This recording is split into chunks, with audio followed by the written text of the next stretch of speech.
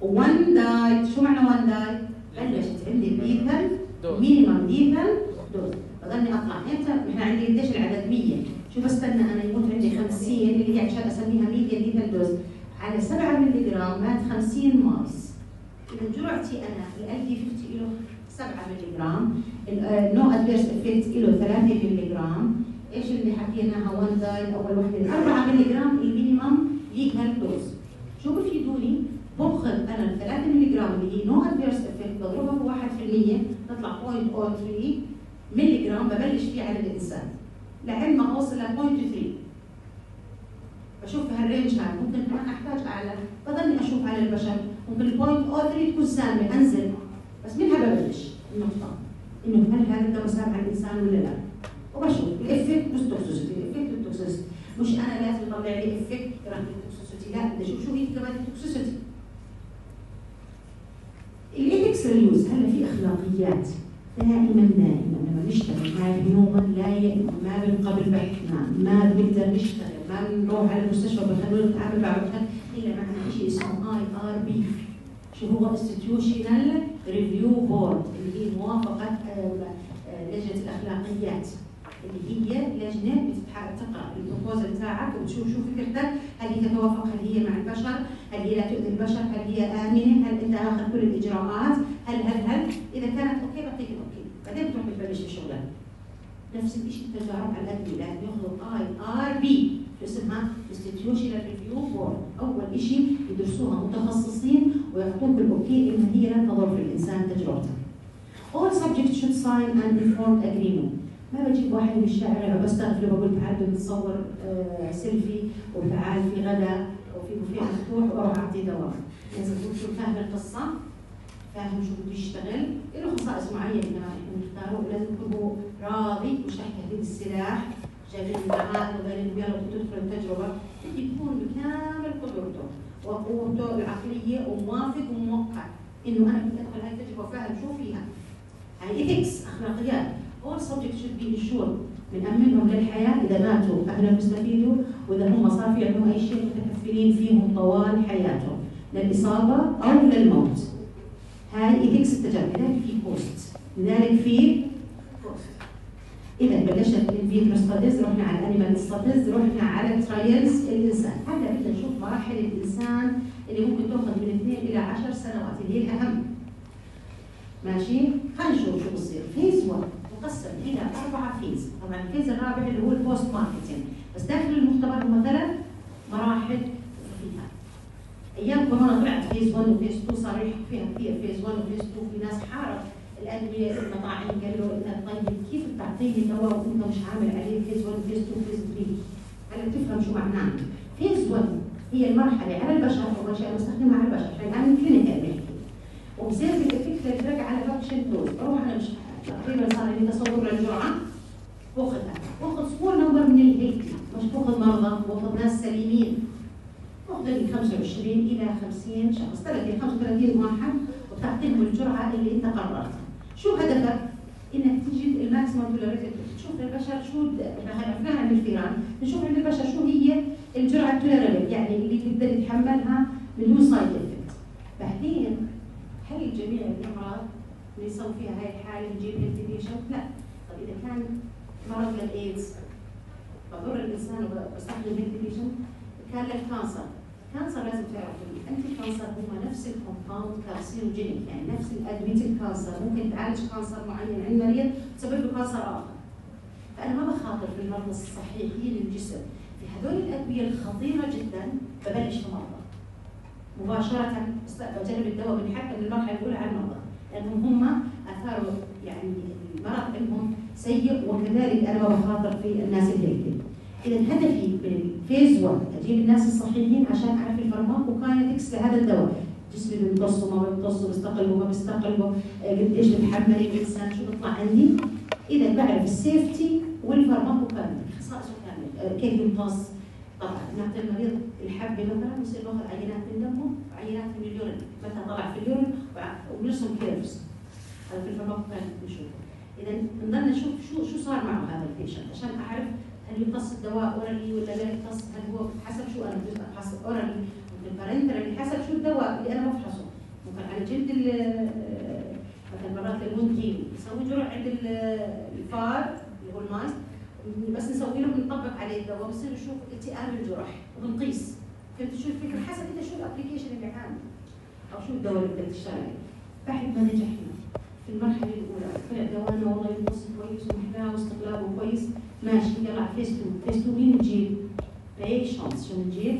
patients شو بكون هدفي؟ هلا الدواء كويس ومش سام عرفت جرعته الانسان بتحملها وبفوت على الجسم وبطلع وعنده ما عندوش مشاكل شو هدفي الآن أعرف؟ فعال ولا مش فعال؟ هو كويس وحليوه بس فعال ولا لا؟ number of the patient بنزيده شوي كل ما زدنا ال sample كانت informative أكثر. من 100 ل 200 تقريبا 150 شخص بناخذهم نعطيهم الدواء بس كل مرضى. يعني إذا بفحص دواء سكري كل مرضى سكري. إذا بعالج بفحص دواء ضغط وكل مرضى ضغط. بنجيب هذول المرضى المختصين في هذا الدواء يعني وبنجيبهم ونعطيهم في نوعين من التجارب في بنسميها single blind design أو double blind خلينا نشوف. بس عشان تفهمني إحنا بنكون جايبين هذول الناس في بيئة متشابهة. في اكل متشابه بيسمعوا لنفس الموسيقى عايشين في نفس اللحظات غالبا يعني ما بنجيب طفل وختيار وصبيه وكبيره لا نجيبهم تقريبا اوزانهم بأعمارهم بألوانهم متقاربة. ما بنقول متشابهة متقاربة. ليش؟ عشان أقل نسبة ال variation عشان إحنا كل ما قللنا الاختلاف بنثبت العوامل المختلفة بس بصير الدواء هو المؤثر. وبجيبهم وجباتهم محسوبة ونخليهم يعملوا adaptation وكل فتره عشان يناموا صح وياكلوا صح وبنشوفهم ونضل متابعين. بس نيجي نسوي التجربة بنصيبهم زي الفل.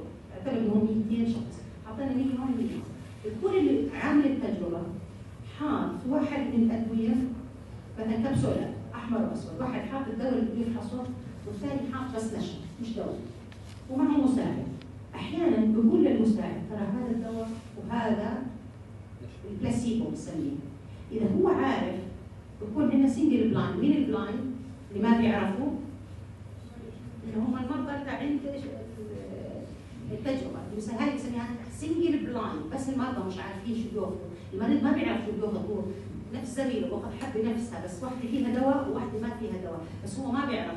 شو هدفنا عشان نعرف ال placebo effect شو هي ال placebo effect الأثر النفسي. آه مين هم بس تبدا حبه ريفانين بتقول هسه الواحد بتاع راسه مين لسه ما نزلت؟ لسه ما وصلت المعدة ولا سلمت على طول. هي الواحد بيروح مستني يجيب حبه لبنين مثلا بس هي لسه ما انفكت هي نفسيا بس تشوف في ناس بتصدق لما يخلص شهر البنين مر عليك؟ بس يخلص في البيت بصدق. هي هذه اللي بنسميها بلاسيبو افكت مرات في ناس بس يشوف الطبيب. في مرة صارت معه. الطفل بس يوصل الدكتور بطيء مرات عليكم خافوا من الإبرة وشيء تصير في شيء يسميه placebo effect ال placebo effect الاثر النفسي على الأداء الفسيولوجي بدون تدخل دوائي إحنا بدنا نفحصه؟ والله إذا دوانا طلع مجموعة البلاسيبو وعند المجموعة نفس بعض معناته دوانا ملوش داعي لأنه ما بيقدم ولا بيأخر زي زي البلاسيبو اذا كان في اختلاف. معناته دوانا اعطى effect فإحنا بنجيب هذول الناس ونعطيهم ويكونوا هم ضعيف أحيانا لا. double blind لا اللي بوزع الدواء بيعرف ولا هو بلغوه. هاي دقه عشان هو مش هو بيقول الله إنك عارف. هسه شو هسه بتشوف كانوا بلمح له أو بمز له إنه في دواء. لما يكون blind كله لا اللي بيوزع الدواء عارف هاي بتكون أكثر مصداقيه ما حدا عارف. هلا بقعد بنفس البيئة. تلاقي الجوع بيقول بيقولوا يجي مثلا هذا اللي النشا لسه الحبه ما نزلت بصير يقول بطني مش قادر. يسجل إنه صار عنده عين البلاسيب ومغص. طيب إذا كل مرضانا صار عندهم مغص معناته هاي مش بلاسيبو صح؟ إذا طلع عند كل البلاسيبو انمغصوا وإحنا مرضانا انمغصوا إذا إيه؟ كله سايكل ما فيش حكي ما باخذهاش بعين الاعتبار. لكن إيش بيستنشوا يعني بينهم إنه هذول ما صار عندهم صار. أو مثلا أثر جانبي. طلع يعني أثر جانبي كلهم صار عندهم دياريا يعني بنسبه 50% للمرضى 30% يمتلك البلاسيبو هل أعتبر ذلك أثر جانبي؟ مرتبط في الدواء؟ نسبة متقاربة اللي ما أخذ إيش صار عنده؟ بالتالي إحنا قاعدين بنشيل عامل البلاسيبو. كلمة بلاسيبو يعني بدون دواء. بلاسيبو حتى نشوفها فبتعرف عندي role range أكبر من إيش؟ اي toxicity بنصير نطلعها على هؤلاء ال patient بنعرف نجح الدواء ممتاز effect وعرفنا تفاصيله أكثر وعرفنا عنه كل شيء بنروح لل phase 3 فيس 3 بجيب patient بس شو المرة هاي؟ بزود العدد لاحظ ما بلشنا بعدد كثير لأنه ممكن تفشل التجربة. ليش أنا اتكلف أكثر؟ صار عندي نتائج بروح على عدد أعلى.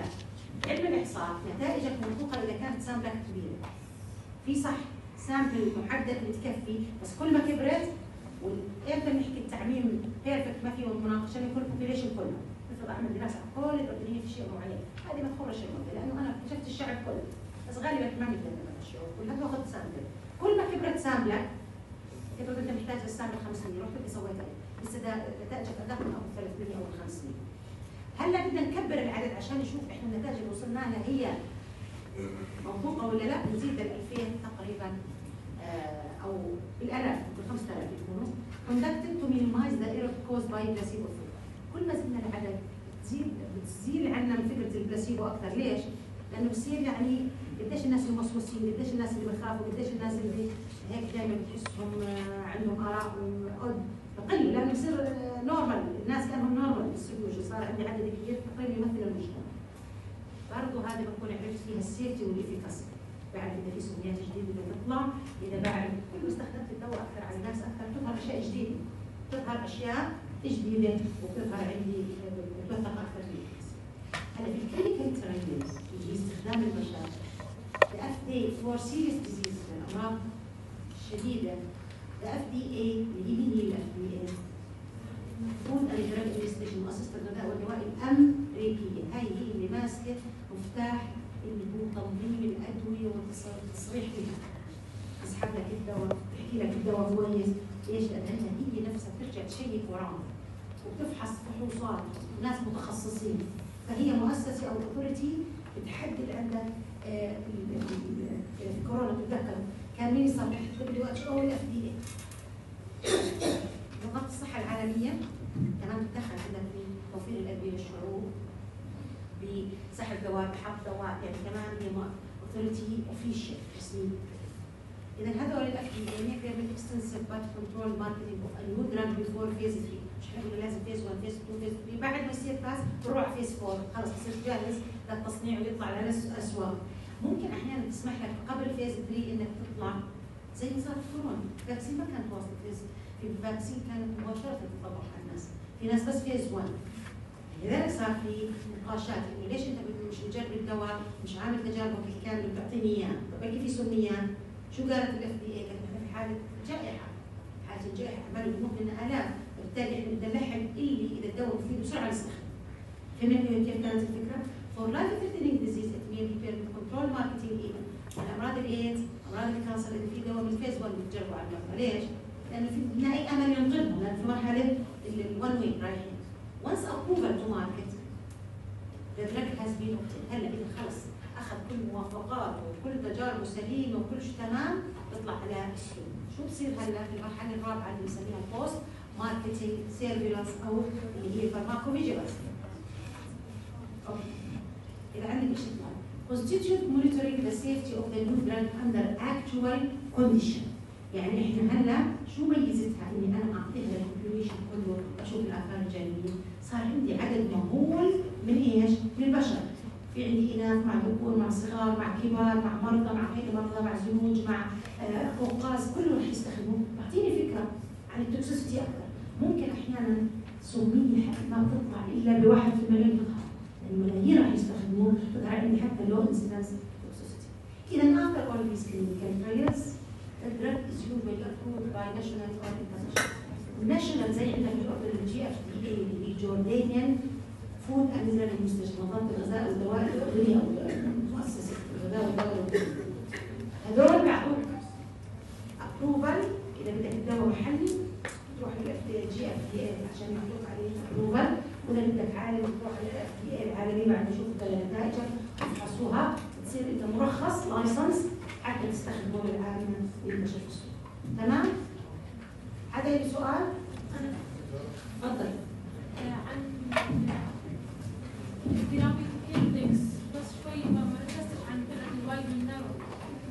ال wide المسافة ما بين هذا ال level اللي بيعطيني نتيجة كويسة بدون side effect 10 ملي هذا والليفل اللي بيعطيني توكسيستي 20 ملي المسافة بعيدة. لو غلط طبعا ما بندخل في السلوك في مجال لكن لو إنه قرابه الإفكت 10 والتوكسيد 12 معناته عند أي غلط للتوكسيد النار خطير وايد